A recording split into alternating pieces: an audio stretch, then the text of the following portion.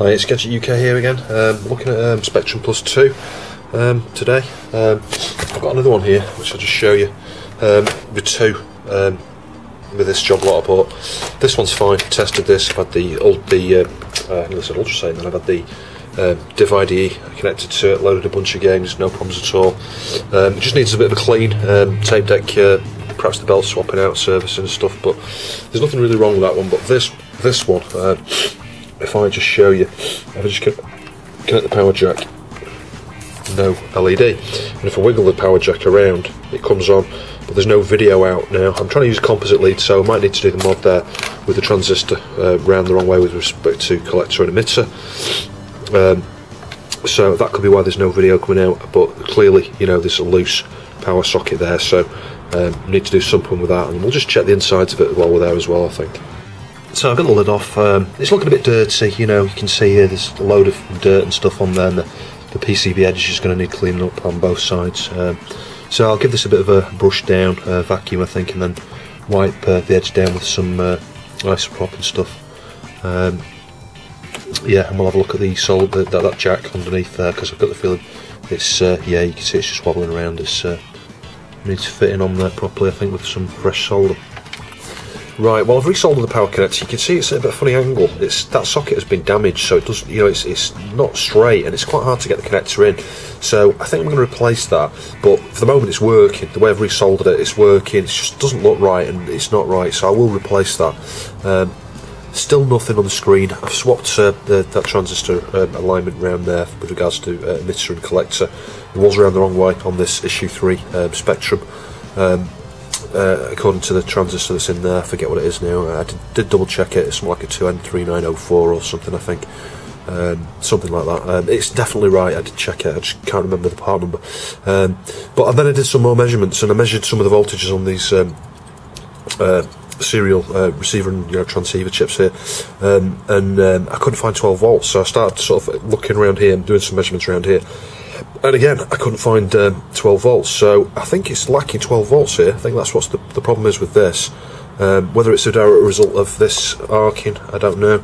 Um, it's certainly possible, um, you know, as people have been, you know, trying to get the power connected to work. Um, no idea. There could be other faults with this, but that's where I'm at the moment. So I'm just looking at this part of the circuit diagram here. And this isn't going to come out very well, but I think it's page 7 of the um, service manual for the Plus 2. Um, you can see here you've got that transformer T1 um, and there's a transistor there and I measured um, around there and I could see 10 volts on one side that may well be the base but there's nothing on the collector or emitter or very very low voltage there so I'm going to check all the components around there and just do some more measurements and things but something very strange going on and obviously I should have minus 5 down here I'm guessing that's going to be missing as well. Um, so I can put meter on various test at various points here on these components and at least try and backtrack here and see what's going on but I've definitely got 5 volts that that's for sure. Um, but I'm, suspe I'm suspecting TR9 I'm suspecting that uh, ZTX 650 I did quickly go over the diodes here on uh, diode test and all of these diodes seem okay to me. Um, I need to check the two resistors uh, there um, but I'm suspecting that transistor there. Uh, it's a ZTX 650, I think. So I'll just get my meter on that and have a look. Yeah, here we go. It is this. It's this ZTX 650. Um, I'll show you what I did. If you measure on one side of this um, capacitor here, I think it's C24, uh, which corresponds with uh, this position here on the diagram. Uh, sorry, it's not very um, good print off that. It's um, very small. Yeah, C24 you should on the negative side of that you should have um, yeah looking at that you should have minus 5 volts. And we had minus 2.5 volts. Um, and after just being on for I, I, did check the plus 5 plus 5's there that's fine. Um, and checking the um, around that transistor I think on the base I had um, 10 volts roughly there which yeah that would uh, and on the um, collector uh, I'm not sure the base is right, but anyway, we've got two pins shorted. Certainly, we've got 9 volts coming in there. Looks like it's onto the collector to me. Um, I can't really tell because that it's not very clear on that diagram. But anyway, if we look at this transistor, uh, I'll just show you. Uh, I'm going to order one of these now because clearly this is the fault. Um, meters on diode test. Uh, I haven't checked the pin out for this transistor, uh, so I'm not sure whether it's NPN or PNP, um, which one's base collector and emitter. But you'll see we've got a short between those two pins.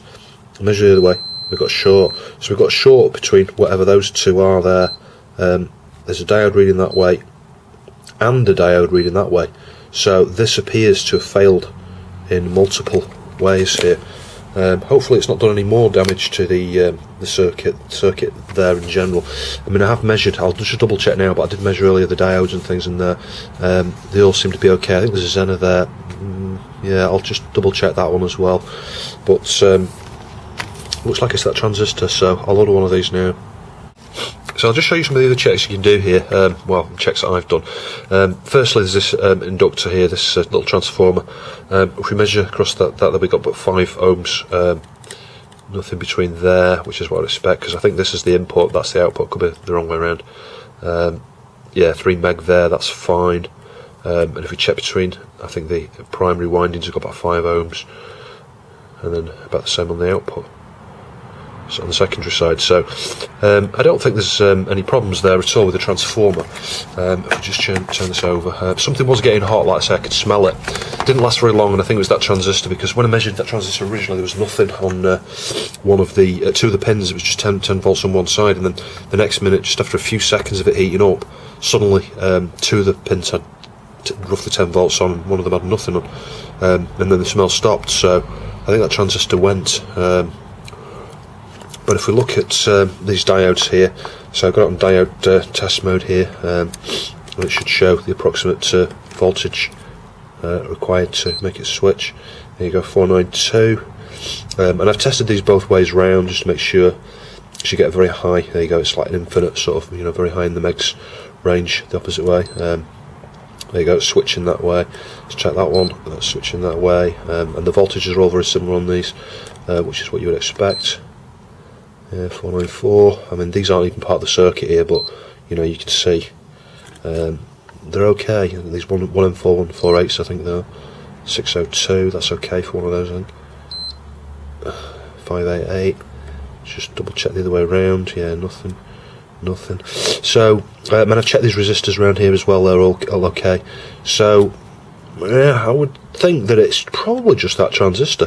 There is another transistor somewhere here. Um, can't for the life of me see it now. If I just look back at the diagram, uh, let me just look back at the diagram.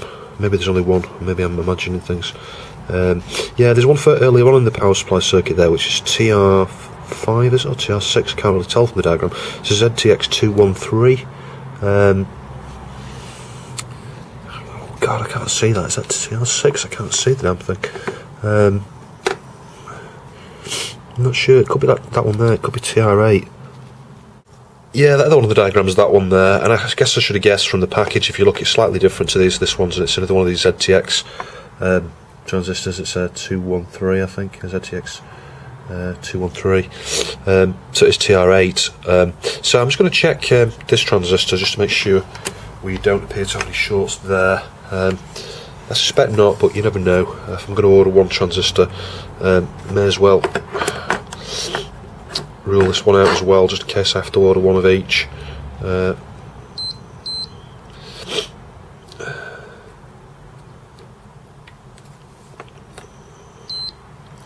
yeah, that's looking right to me. That's looking right to me. Right, so we've got a replacement transistor in there now. Um, you can see this.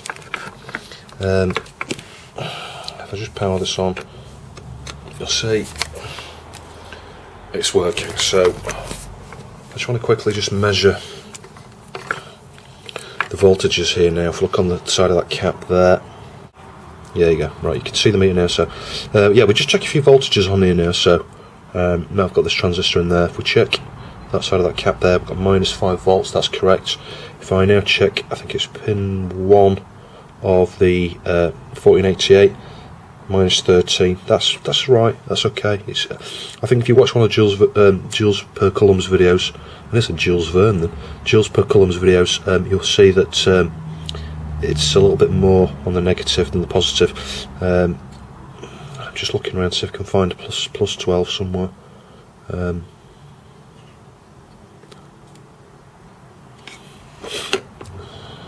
sorry, knocking it out of shots again. Ah, there we go, plus 12. So that's okay, you know, and you know, if you look at the screen, it's oh, sorry, I'm stuck on bleeding wires now. Um, you can see it's working fine. So there we go. Um, that was uh, the, the, solution to that one.